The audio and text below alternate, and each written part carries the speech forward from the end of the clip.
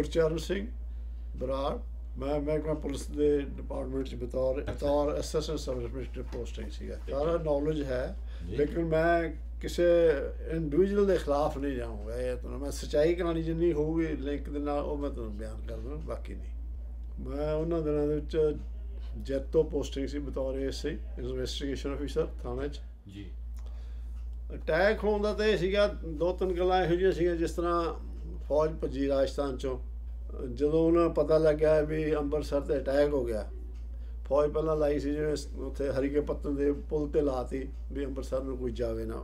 ਸਾਰੀ totally ਬੰਦ ਕਰਤਾ ਸਾਰਾ ਪੰਜਾਬ। ਸਮਝ ਲਓ ਵੀ ਜਿਸ ਦਿਨ ਅਟੈਕ ਹੁੰਦਾ ਹੈ ਉਸ ਤੋਂ ਇੱਕ ਦਿਨ ਪਹਿਲਾਂ ਕਰਫਿਊ ਲੱਗਾ ਟੋਟਲੀ ਸਾਰਾ ਪੰਜਾਬ ਬੰਦ ਕਰਤਾ। ਸਭ ਗੱਡੀਆਂ ਥਾਂ ਤੇ ਪਿੰਡਾਂ 'ਚ ਫੌਜ ਸੜਕਾਂ ਤੇ ਫੌਜ ਹਰ ਜਗ੍ਹਾ ਤੇ ਸੀਗਾ ਉਹ ਬ੍ਰੇਕ ਲੱਗੀ ਸੀ। ਮਹਿਸੂਸ ਤਾਂ ਅਕਸਰ ਜਿਹੜਾ ਕੋਈ ਅਨਾਕਾ ਮਾਰਿਆ ਜਾਂਦਾ ਹੈ ਉਹਦਾ ਦੁੱਖ ਤਾਂ ਹੁੰਦਾ ਹੀ ਹੈ। ਉਹ ਚਾਹੇ ਕੋਈ ਵੀ ਸੀ ਇਹਦੇ 'ਚ ਸਾਨੂੰ ਕੋਈ ਚੱਕਰ ਨਹੀਂ ਵੀ ਕੌਣ ਮਰਿਆ ਕੌਣ ਨਹੀਂ। ਲੇਕਿਨ ਅਨਾਕਾ ਮਾਰਨਾ ਔਰ ਲਾ ਐਂਡ ਆਰਡਰ ਦੀ ਸਥਿਤੀ ਇੰਨੀ ਗੰਦੀ ਹੋ ਜਾਣੀ ਕਿ ਉਹਦਾ ਕੋਈ ਵਾਲੀਵਾਰ ਸੀ ਕੋਈ ਨਹੀਂ ਸੀ ਪੰਜਾਬ ਦਾ ਉਸ ਮੌਕੇ। ਕਿਉਂਕਿ ਜਿਹੜਾ ਮੇਰਾ ਫੰਕਸ਼ਨ ਸੀ ਹਾਂਜੀ। ਉਹ ਸੀ ਲਾ ਐਂਡ ਆਰਡਰ ਦਾ। ਕੰਟਰੋਲ ਕਰਨ ਦੇ ਉੱਤੇ। ਮੇਰਾ ਤਾਂ ਇਹ ਸੀ ਵੀ ਪਿੰਡ ਦੇ ਵਿੱਚ ਜਾਂ ਸੜਕਾਂ ਤੇ ਜਾਂ ਸ਼ਹਿਰਾਂ ਜਿੱਥੇ ਅਸੀਂ ਗਸ਼ਤ ਕਰਦੇ ਸੀ ਜਾਂ ਜੋ ਕਰਦੇ ਵੀ ਸੀ, ਉੱਥੇ ਕਿਸੇ ਨੂੰ ਕੋਈ ਜਿਹੜਾ ਹੈ ਨਾ ਨੁਕਸਾਨ ਨਾ ਪਹੁੰਚਾਵੇ, ਕੋਈ ਮਾਰੇ ਨਾ ਜਾਂ ਹੋਰ ਹੈ। ਸਾਡਾ ਬਾਕੀ ਜਿਹੜਾ ਪੋਲਿਟਿਕਸ ਨਾਲ ਕੋਈ ਤਲਕ ਨਹੀਂ ਸੀ, ਨਾ ਹੀ ਅਸੀਂ ਪੋਲਿਟਿਕਸ 'ਚ ਹਿੱਸਾ ਲੈਂਦੇ ਸੀਗੇ ਅਸੀਂ ਤਾਂ ਇੱਕ ਇਨਸਾਫ ਦੇ ਨਜ਼ਰੀਏ ਨਾਲ ਵੇਖਦੇ ਸੀਗੇ ਵੀ ਕੌਣ ਕਿਉਂ ਮਾਰ ਰਿਹਾ ਉਹਦਾ ਕਾਰਨ ਕੀ ਹੈ ਕ- ਜਿਹਦਾ ਇਹ ਪਤਾ ਲੱਗਦਾ ਸੀ ਵੀ ਇਹ ਲੁਟੇਰੇ ਆ ਜਾਂ ਲੁੱਟਣ ਦੇ ਵਾਸਤੇ ਮਾਰਦੇ ਆ ਜਾਂ ਮੁੰਡਾ ਚੱਕ ਕੇ ਲੈ ਗਏ, ਬੰਦਾ ਰਿਸ਼ਤੇਦਾਰ ਚੱਕ ਕੇ ਲੈ, ਸਾਡਾ ਰਿਸ਼ਤੇਦਾਰ ਚੱਕ ਕੇ ਲੈ ਗਏ ਸੀ ਇਸ ਗੱਲ ਦੇ ਉੱਤੇ। ਉਹਨੂੰ ਪਹਿਲਾਂ ਤਾਂ ਪਤਾ ਲੱਗਿਆ ਵੀ ਆ ਮੁੜ ਕੇ ਅਪਰੋਚ ਕੀਤੀ ਕਰ ਬਗੈਰ ਪੈਸੇ ਦਾ- ਪੈਸੇ ਮੰਗਦੇ ਜਦੋਂ ਉੱਥੇ।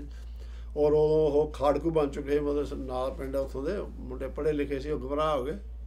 ਖਾੜਕੂ ਨਹੀਂ ਸੀ ਜਮਾਂਦੇ ਨੂੰ, ਅੱਛੇ ਬੱਚੇ ਸੀਗੇ, ਲੇਕਿਨ ਗਮਰਾਹ ਹੋਣ ਦੇ ਉੱਤੇ ਫਿਰ ਉਹ ਨਾ, ਉਹ ਇਸ ਲਾਈਨ 'ਚ ਪੈ ਗਏ।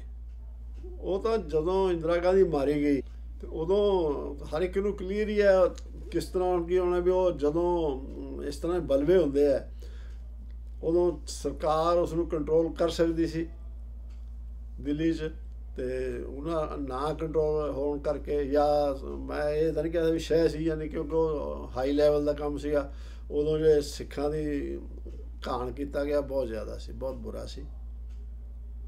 ਖਬਰਾਂ ਦਿੰਦੇ ਸੀ ਜਿਸ ਤਰ੍ਹਾਂ ਹੁਣ ਪੰਜਾਬ ਚੋਂ ਗੱਡੀਆਂ ਬੰਦ ਸੀ, ਜਿਹੜਾ ਵੀ ਕੋਈ ਸਿੱਖ ਜਾਂਦਾ ਸੀ ਹਰਿਆਣੇ ਦੀ, ਹਰਿਆਣਾ ਕਾਂਗਰਸ ਸਰਕਾਰ ਦੀ ਗਵਰਨਮੈਂਟ ਸੀ, ਉਹ ਉਤਾਰ ਕੇ ਉਹਨਾਂ ਨੂੰ ਵਾਪਸ ਕਰ ਦਿੰਦੇ ਸੀਗੇ ਗਾਂ ਜਾ ਦਿੱਲੀ ਜਾਣ ਨਹੀਂ ਦਿੰਦੇ ਸੀਗੇ। ਇਹ ਚੀਜ਼ ਹੈਗੀ ਹੈ ਵੀ ਜੇ ਵਕਤ ਰਹਿੰਦਿਆਂ ਇਸ ਨੂੰ ਕੰਟਰੋਲ ਕੀਤਾ ਜਾਂਦਾ। ਮੇਨ ਲਾਈਨ ਜਿਹੜੀ ਸੀ ਇਹ ਸਰਕਾਰ ਨੇ ਚਲਾਈ ਇਸ ਕਰਕੇ ਵੀ